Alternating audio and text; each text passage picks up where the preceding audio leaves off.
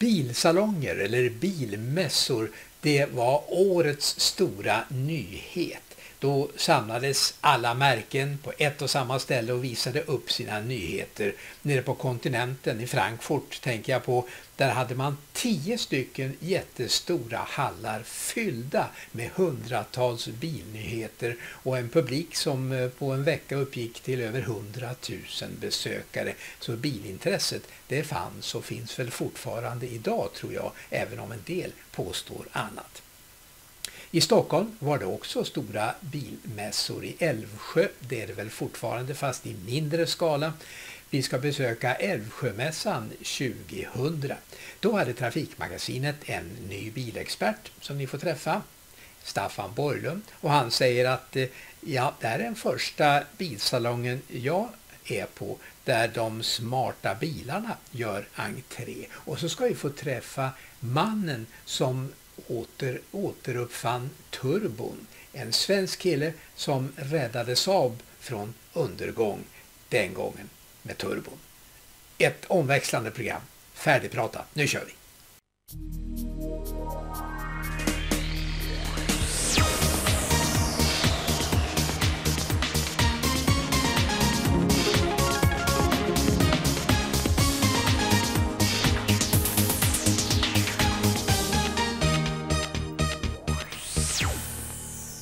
Välkomna till Trafikstudion i Falun och en halvtimme med allt du behöver veta om vårens nya bilmodeller. Nyheten i veckan, ja det är väl att från 1 maj så ska det kosta en tusenlapp att inte släppa fram gående på obevakade övergångsställen. Ja, och den andra stora nyheten är att nya bilar blir allt sämre, i varje fall enligt Bilprovningens rapport över kontrollerade 96or. Bland de sämsta hittar vi Volvo V40 och S40 och BMWs 3-serie kombi där så många som var fjärde underkänns för undermåliga detaljer i framvagnen. Fyra av de fem bästa märkena är enligt besiktningen japanska, nämligen Toyota Camry, Corolla, Carina och Mitsubishi Space Gear. Och i topp ligger också tyska Mercedes E-klass.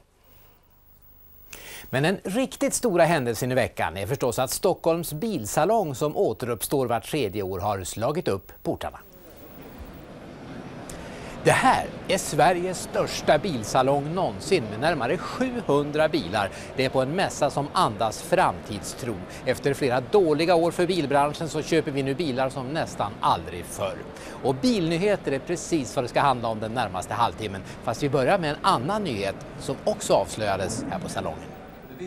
Prinsessan Lilian överlämnade Motorjournalisternas stora pris till Trafikmagasinets Staffan Borglund som han fick för sina nyskapande biltester som blivit vägledande för åtskilliga bilkonsumenter. Fram honom till en topposition i uppgiften som testförare i populära tv-programmet Trafikmagasinet.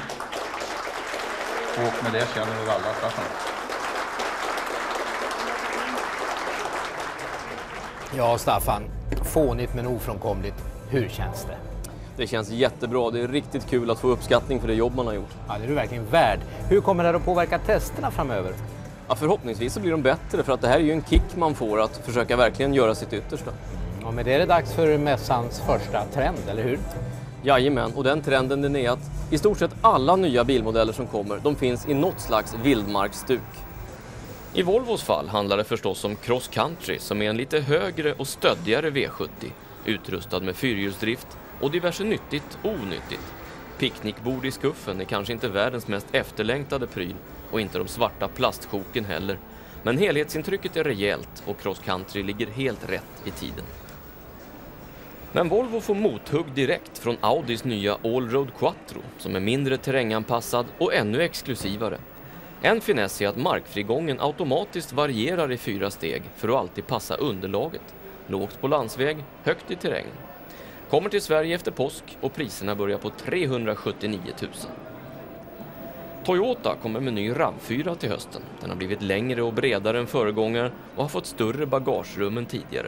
Tack, det var på tiden. Även interiören har fått ett lyft för att RAV4 ska kunna fortsätta fightas om tätpositionen i den just nu hetaste av alla bilklasser. Men konkurrensen hårdnar. Sent om sidor lanserar Mazda en utmanare bland alla dessa smarta familjejeepar. Tribut kan fås med antingen 2 liters fyrcylindrig motor eller 3 liters V6 och diverse lyxutrustning. Till Sverige i höst, pris mellan 200 och 250 000. Pluttpajeron, eller Pajero Pinin som den egentligen heter, är Mitsubishis fräcka bidrag i småjeepsklassen. Kompakta yttermått, bara 3,73 lång, ger begränsade kupéutrymmen. Bilen byggs av italienska Pininfarina och ska kosta från 183 000. Retrotrenden den rullar vidare, inte minst tack vare amerikanska PT Cruiser, en bil med typisk 40-talsdesign och den här ska vi självklart provköra inom kort. Men eh, spanska Seat, de kör inte med något retrostuk minsann. Men hela modellprogrammet finns naturligtvis representerat.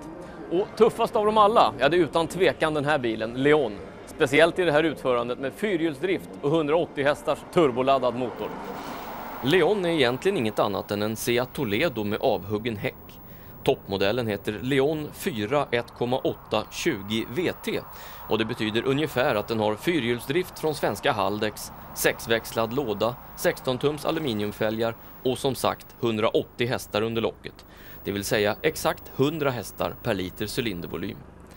Det här är en sportig och snabb vagn som lär vara lätt att mista körkortet i. Sprinten från 0 till 100 tar 7,7 sekunder och toppfarten är mer än dubbelt så hög som man får köra i Sverige. Något det finns gott om på årets mässa är bilsimulatorer och Gustav han har provkört en av de allra häftigaste. Hör du till någon som har köpt en ratt till hemdatorn för att få lite mer realism i rallyspelen? Glöm det. Det här, VTCC, är lugnt mycket häftigare. Mattias Ekström, svensk mästare i STCC. VTCC, hur nära verkligheten är det här? Ja det är faktiskt mycket mer än vad folk tror. Jag menar när du gasar, när du bromsar, allt det här när du spelar framför datorn hemma i huset så får du aldrig några krafter. Här har du det både när du svänger, när du gasar och när du bromsar så det är riktigt bra. VTCC, Virtual Touring Car Championship, är inte bara ett spel. Det är också en tävling för 16 till 24-åringar där första pris är ett körkort. Men inte nog med det. En av finalisterna blir dessutom uttagen till att köra en säsong med en riktig racerbil i lägsta touringcar-serien JTCC. Ja, jag, jag vinner nog ingen racingsäsong men det värsta är att jag får nog ingen körkort heller tror jag. Nej. Ja, det där behöver han uppenbarligen träna på. Staffan sa ju tidigare att bilar med vildmarksstuk är högsta mode just nu. En annan trend är små familjebussar som alternativ till kombimodeller och klassledaren Renault Scenic har fått många utmanare. Ja, visst, och nya Nissan Almera Tino är nästan misstänkt lik Renault Scenic. Äggformen är typisk för den här sortens flexbilar och inredningen är på en gång ombonad och vettig. Bagagerummet är generöst men att det inte finns några extra stolar ens som tillval är märkligt när biltypen ju motiveras med just maximal flexibilitet. Picasso, nästa Scenic-kopia, kommer från Citroën. Liksom Nissan Tino är Picasso, också konstigt nog, strikt femsitsig. Citran lockar istället med fina vägegenskaper och god komfort. En smart detalj är den ihopfällbara och portabla bagagekärran som sitter till höger i skuffen. Citroën Picasso kommer att kosta från 163 och 9. En lite större bil på samma rymliga och praktiska tema är Hyundai Trajet. En sjusitsig familjebuss som ändå inte är så bussig utan mer personbilslikt i karaktären. Med sitt mycket konkurrenskraftiga pris blir Trajet en hård nöt att knäcka för flera av de så kallade MPV-bilarna på marknaden. Men nu när konkurrenterna närmar sig så tar Renault ett steg till och presenterar en ny tuffare Scenic. Den heter RX4 och har fyrhjulsdrift och ett moderiktigt offroad-stuk. På det viset har Renaults jättesuccé Scenic kvickt anpassat sig till den allra senaste trenden av lite nättare jeepstukade bilar och på det viset kört ifrån konkurrenterna igen. Påpassligt och smart, eller hur? Säljstart i sommar och pris ungefär 220 000.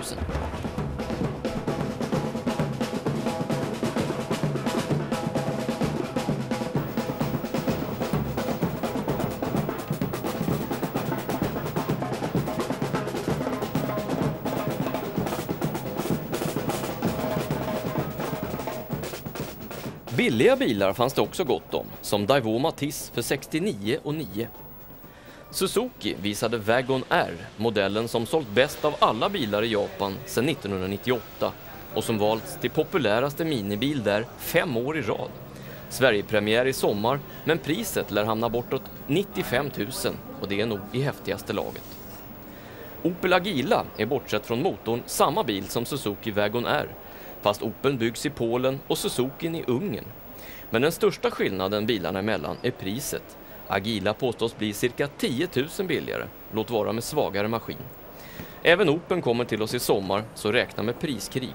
Ungern eller Polen, vilket blir billigast när marknaden sagt sitt. Hyundai Atos är kung i förnufts och ekonomiklassen för närvarande. Modellen har sålt som smör och nu kommer den i en lite piffigare variant kallad Prime. Mer inställsam interiör, flashigare utförande och dessvärre högre pris. Inne på ämnena förnuft och ekonomi så är steget inte långt till Volkswagen Lupo 3L, bilen som slår rekord i bränslesnålhet. Och vi har förstås provkört. Och första gången vi provade var faktiskt nästan 15 år sedan. Den här fulingen heter Volkswagen 2000 och var en slags rullande testbänk med framtidens teknik ombord. Och lagom till just år 2000 är alla de bränslesparande grejerna klara för produktion. Och de kommer alltså i världens snålaste serieproducerade bil, Volkswagen Lupo 3L.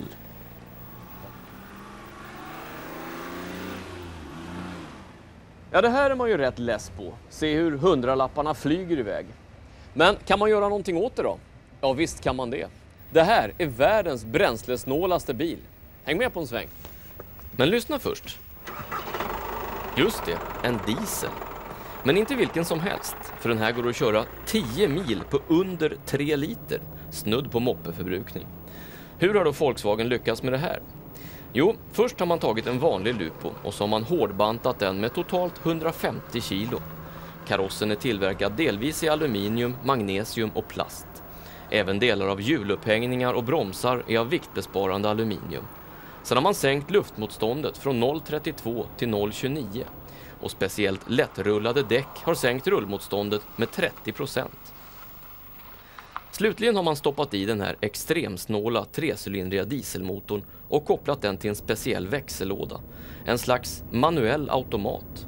Och den här lådan gör körningen lite annorlunda för dels går den att använda som en vanlig automat, dels går den att växla manuellt fast utan kopplingspedal. Och trycker man in knappen märkt Eko, ja då börjar det hända grejer med Lupon. För det är först nu som den här bilen går sådär riktigt, riktigt billigt. Bland annat har vi fått en frirullningsfunktion, ungefär som på en gammal Saab. Alltså ett beprövat och enkelt sätt att utnyttja bilens rörelseenergi och därmed spara dyra soppadroppar. En annan fiffig snåldetalj är att motorn automatiskt stannar när bilen står still och bromspedalen varit nedtryckt i mer än tre sekunder. När pedalen släpps upp igen så startar motorn, kopplingen kopplar in och så är det bara att köra iväg igen som vanligt. I det här ekoläget reduceras dessutom motoreffekten från 61 till 45 hästar.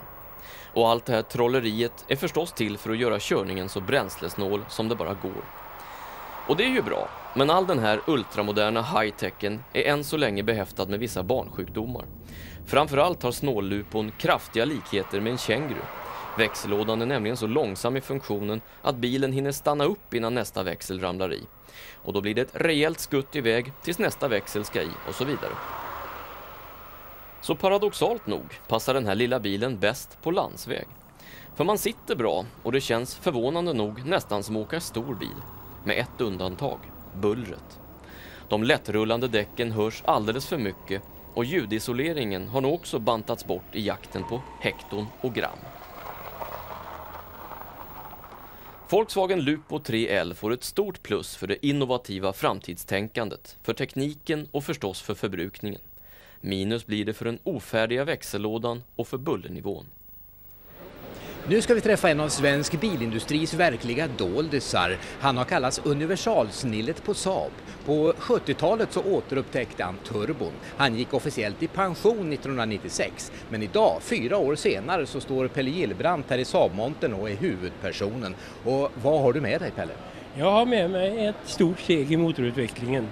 Vi har gjort variabel kompression. Och det där det låter konstigt men det är ju på det sättet att alla motorer hittills har haft fast kompression. Och fast kompression är en dålig kompromiss. Vi vill ha så hög kompression som möjligt i normal trafik för att få låg bränsleförbrukning och vi vill ha tillräckligt låg kompression så att vi kan köra på fullgas utan att motorn knackar och går sönder. Nu har vi gjort den här kompressionen variabel så vi kan få det bästa utav både och. Jag vet att du jämför det här med en gammal järnspis. Det är en bra jämförelse. Om man tänker sig förbränningsrummet här i en motor som en, som en vedspis, då vet ju alla att om man eldar en liten brasa i en för stor spis, då går det mesta upp eh, till kråkorna som förluster. Och å andra sidan om man har en liten spis och eldar för mycket, då spricker spisen. Och vi har helt enkelt gjort en spis i den här motorn som ändrar sig i storlek allt efter hur vi eldar och då får vi ut det bästa möjliga av bränslet. Ja, resultatet kan bli att bensinförbrukningen minskar med upp till 30 procent om motorn blir verklighet vill säga. För nu gör en amerikan anspråk på att ha sökt patent på samma konstruktion och dessutom ska beslutet inte tas av Saab i Trollhättan utan av GM-ledningen i Detroit. Ja, vi får vänta och se. Nu ska vi tala om IT i bilen. Det är något som många, bland annat Ford, tror på för framtiden. I sin konceptbil 24.7 som anspelar på att informationen ska vara tillgänglig dygnet runt hela veckan har de samlat all den teknik som snart kommer att finnas i våra bilar. Den här instrumentpanelen den ser lite tom ut, lite corny bilder så här bara. Men det är helt i sin ordning, man bestämmer nämligen själv exakt vad det är man vill se för någonting. Man börjar med att säga åt den att starta och det gör så här. System Startup. Den pratar nämligen bara engelska. Då får man upp lite bilder så här. Och här kan du välja vilken förare jag är. Och nu säger vi att jag är Natalie. Choose Natalie. Opening. Varje förare skräddarsyr instrumentpanelen så att den visar precis det man tycker är viktigt. Alla vill ju kanske inte ha varvräknare. Och så bestämmer man vilka andra funktioner man vill ha framme, till exempel ljudanläggning eller navigationssystem. Med rösten styr jag allting. Jag styr vilken information jag ska få, jag styr radion, jag styr telefonen, jag kan styra en GPS-mottagare som kan visa kartor vart jag ska åka någonstans. Om jag till exempel vill hitta Nathalies favoritcafé, då säger jag bara Find Café Quad. Locating. Och så letar GPSen reda på det och ger mig väganvisningar. Inte så tokigt.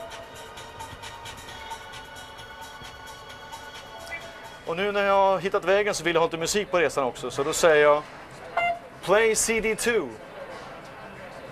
Play.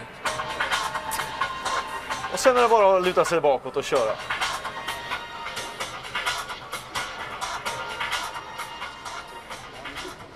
En riktig världspremiär har vi i alla fall här på mässan. Mercedes helt nya C-klass. Helt ny som sagt, men ändå med en tydlig och typisk Mercedes-design.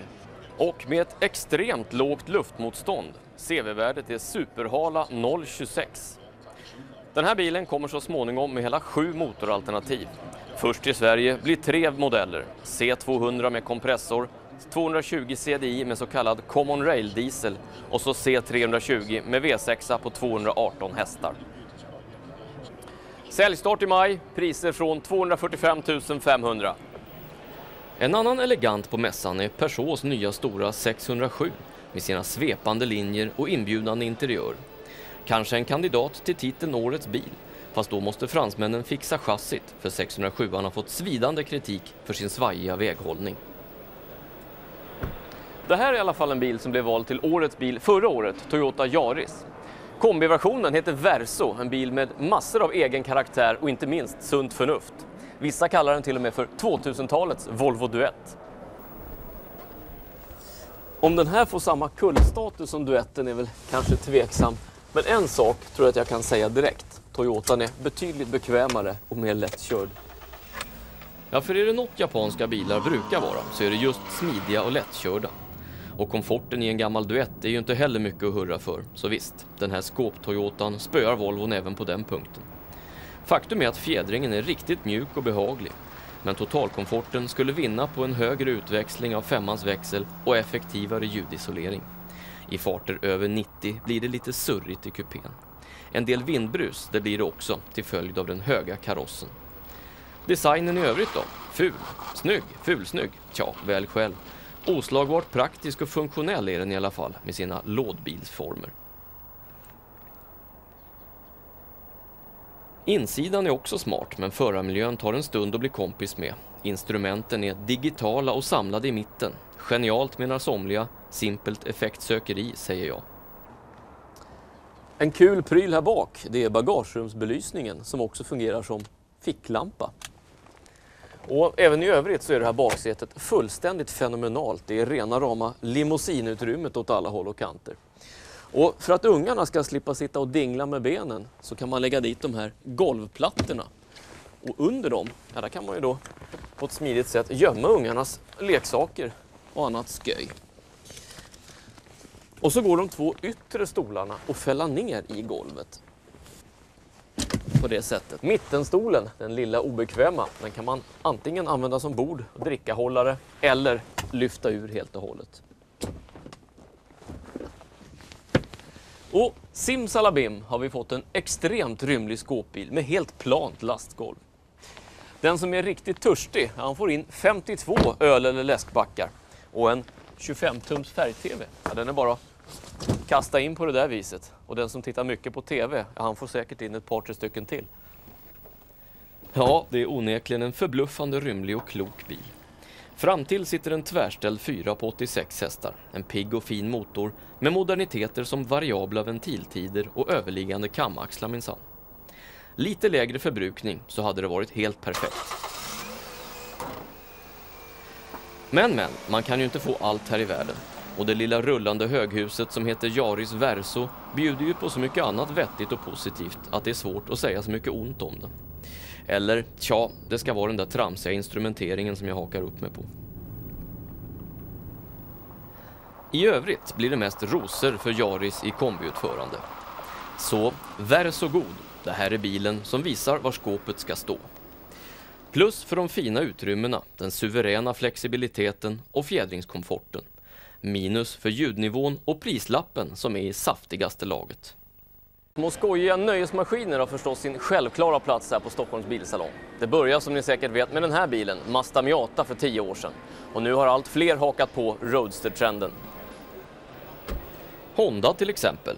S2000 är en av de absolut mest beroendeframkallande bilarna på marknaden med en motor som inte slutar varva förrän efter 9000 varv. Ultratrång kupé, usel sufflett, tokhögt pris och hur kul som helst. Opel går ett steg till med Speedster som andas mer banracer än någonting annat. Den här kompromisslösa och superlätta mittmotorbilen byggs av engelska Lotus. Ungefär 60 procent av delarna kommer direkt från Lotus Elise. Speedster kommer nästa vår, pris 312 500. Toyotas läckra MR2 har dumt nog undanhållit Sverige ända till nu. Att det här är en kul sak att ratta råder ingen tvekan om. Mittmotor och bakhjulsdrift är nämligen en svårslagen kombination vad gäller skojfaktorn. Lättmetallmotor på 140 hästar låter inte direkt skräckinjagande men matchvikten är inte högre än styvt 1000 kilo så fartresurserna duger nog gott. Och förresten, körglädje har inte ett dugg med hästkraftsantalet att göra.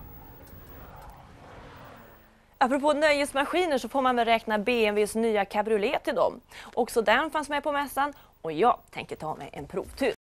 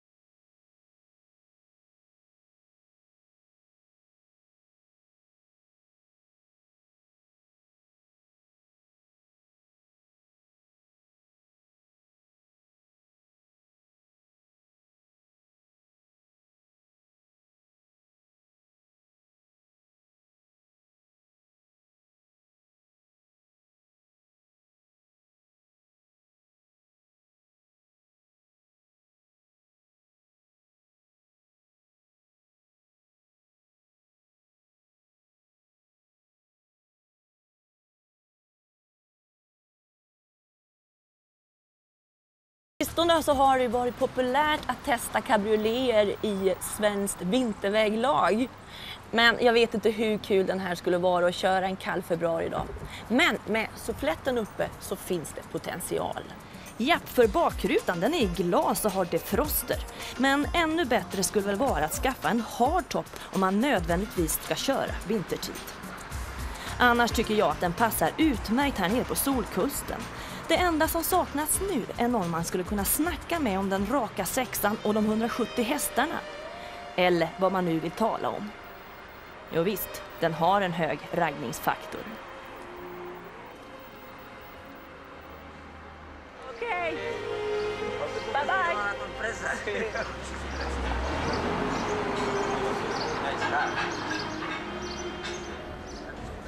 Ja, det börjar bli dags att summera Stockholmssalongen. Stor, imponerande men eh, föga revolutionerande. Håller du med om det? Ja, absolut. Det finns ju egentligen inga stora överraskningar utan det är samma trend som vi har sett i några år som håller i sig där de riktigt stora, tunga, törstiga bilarna är på väg ut och in kommer lite mindre bilar som är mycket smartare och som har ungefär samma säkerhet som den stora bilen. Så man kan väl säga att det här är en klok och vettig trend som kommer alla till godo. Ja, till det här kan jag bara lägga att det här var den första bilmässan på ett årtionde när det fanns en bil för varje smak. Epoken när alla bilar var som stöpta i samma form är tack och lov över för den här gången. Ja, och nästa trafikmagasin det ska handla om reservdelspriser. Betalar du på tok för mycket och törs man köpa så kallade piratdelar? Och testbilen då, ja, det blir en japan som i första hand utvecklats för den kritiska tyska marknaden. Hur man lyckats, ja det berättar Staffan i vår test av Nissan Almera. Och vi slutar där vi började, på mässan i Stockholm. Hej då!